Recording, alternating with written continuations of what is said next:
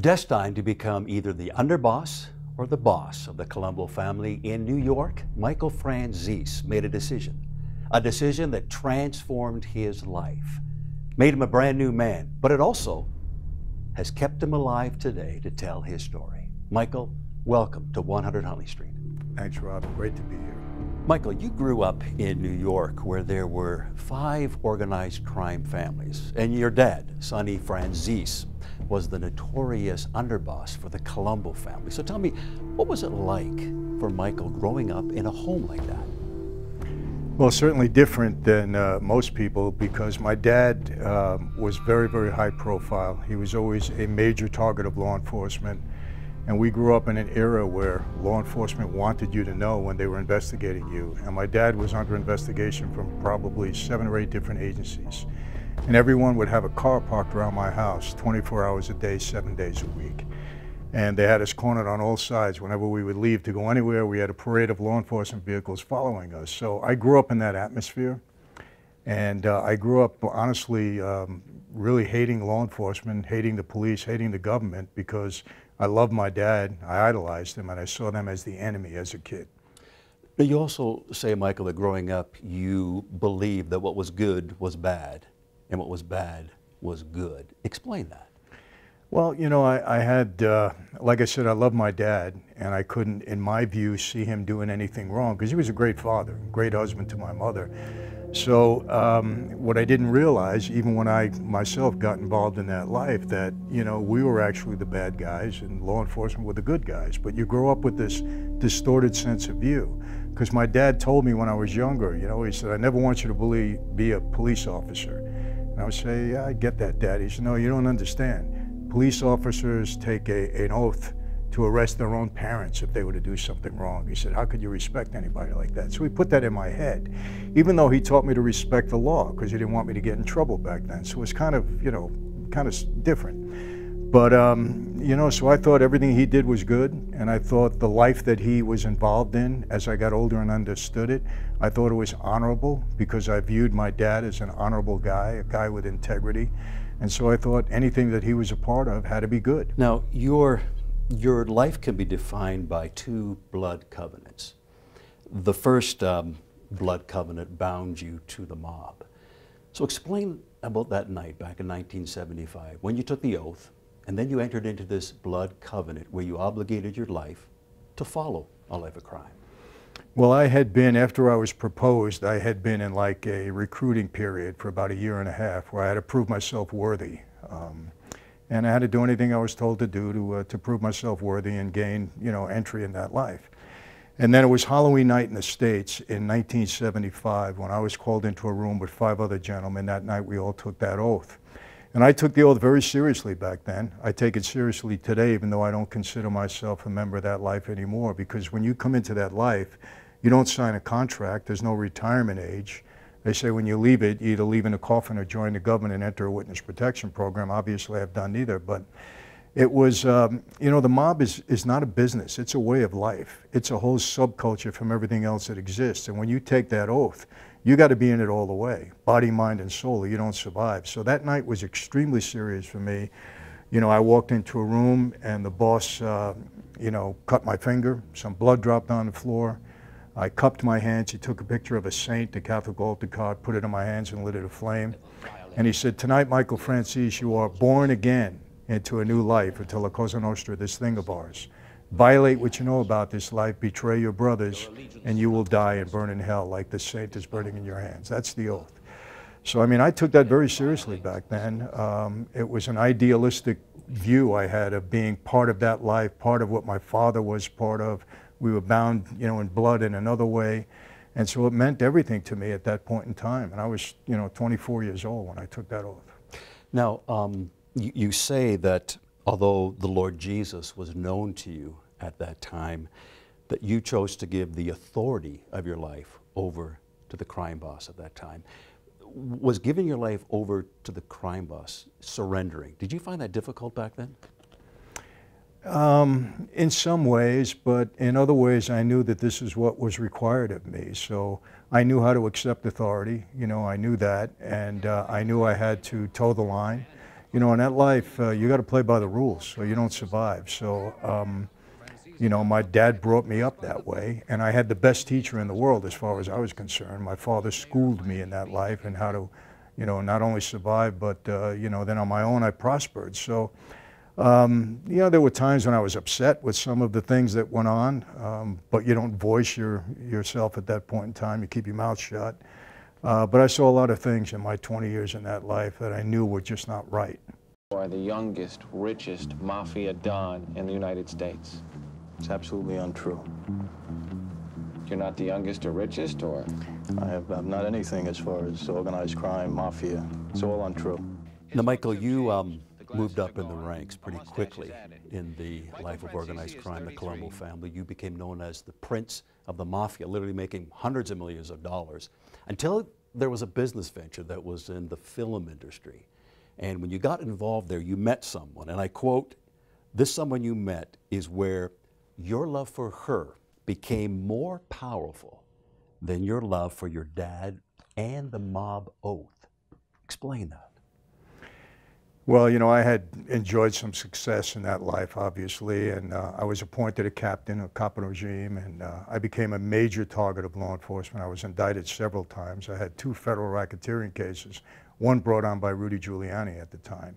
At least according to this complaint, uh, it would seem that Michael Franzese is unfortunately following the footsteps of his father. And so, um, you know, I was doing well because I was beating all these cases. I was winning and I was making a lot of money. And uh, they were grooming me to be the boss or the underboss at one point in time. And um, then all of a sudden I make this movie and I meet this young girl on the set and um, I start to fall in love with her. And she was a young Christian girl and her mother was a very, very devout Christian. Now, honestly, their faith, um, I wasn't buying into it but I respected them because I saw how real it was to them.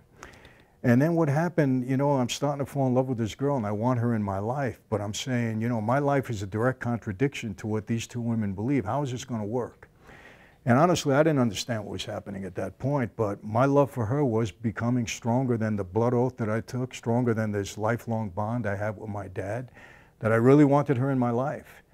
And I knew to have her, um, I have to make some changes. And that's what really put it in my head to start to see how I can maneuver myself out of the life because you can't just say I quit.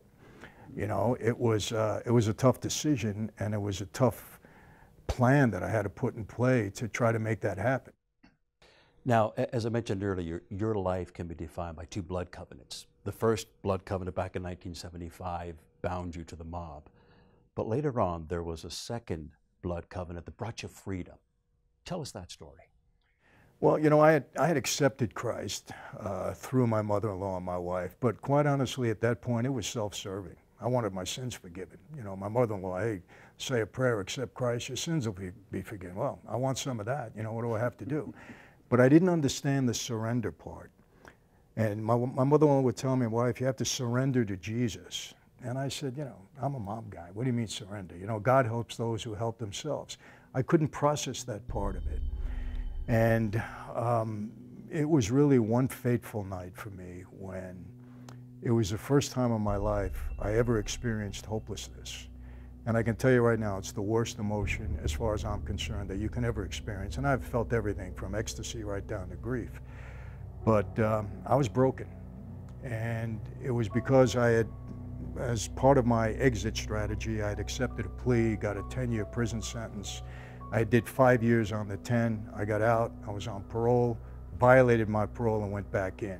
And the government was very upset with me. They were trying to turn me into a major witness, and I was resisting. So when they violated me and put me in, they really, really took everything I had.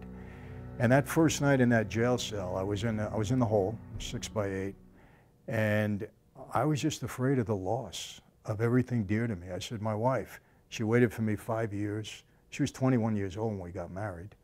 Uh, 13 horrible months on parole. We really had a rough time. You know, people after me. It was, it was tough.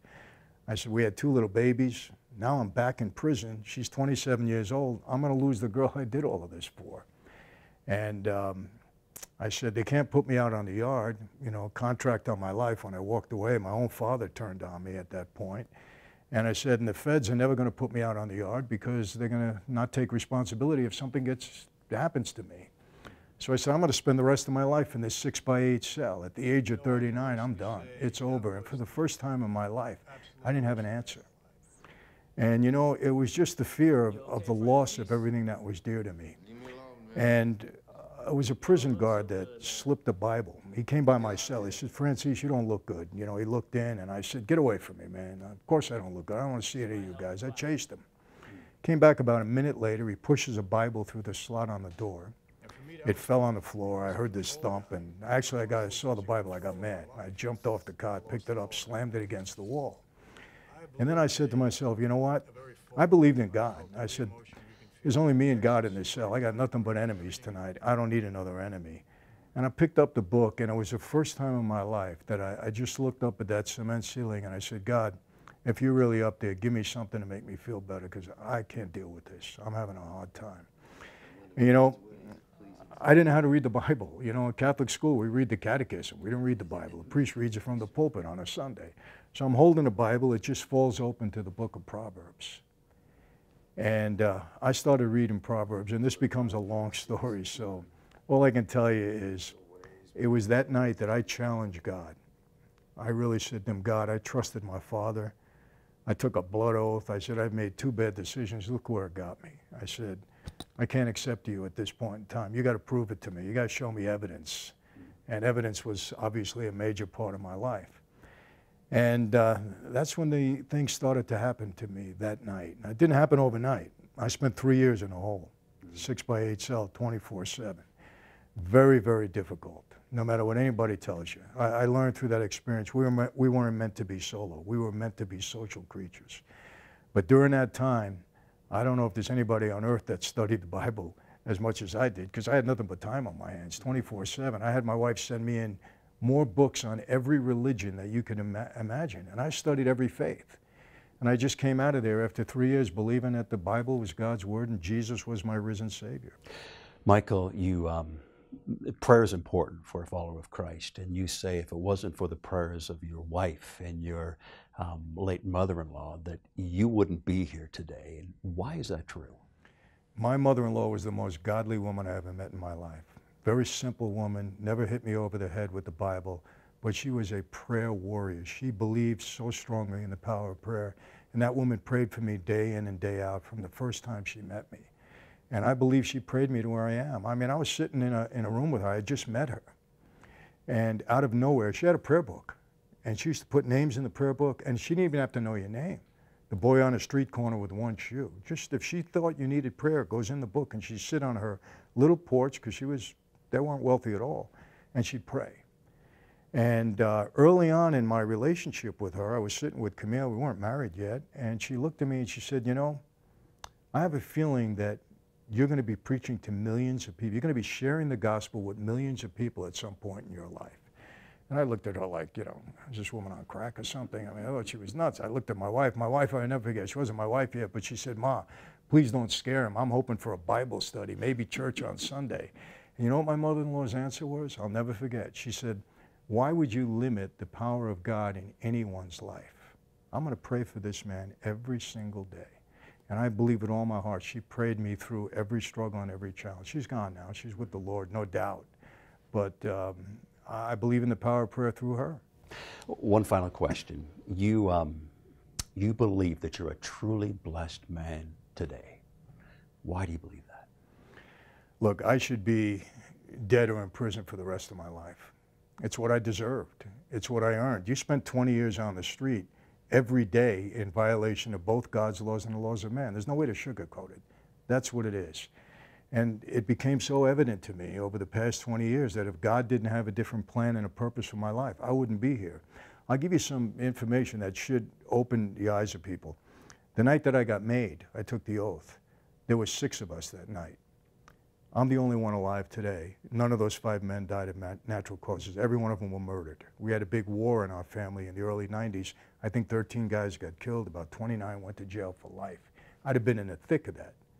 Aside from that, Fortune magazine, 1986, they write this big article, article 50 biggest and most powerful mob bosses in the country. They actually had a chart with the 50 of us on there. I was one of the six guys that they featured.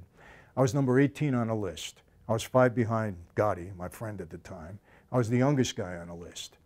And, um, and I thought that was a silly list. How did they, you know, they didn't ask for our tax returns. But what isn't silly about that list is some 31 years later, out of the list of 50, 47 of those men are dead. Two of them are doing life in prison without parole, and I'm here speaking to you. Mm-hmm. And I could have been one of them for sure. But God had a different plan. He navigated this course for me, and nobody can tell me any different. And I believe it with all my heart. Michael, thank you so much for sharing the grace of God in your life, in your story with us here today. Thank you so much. Thanks for having me.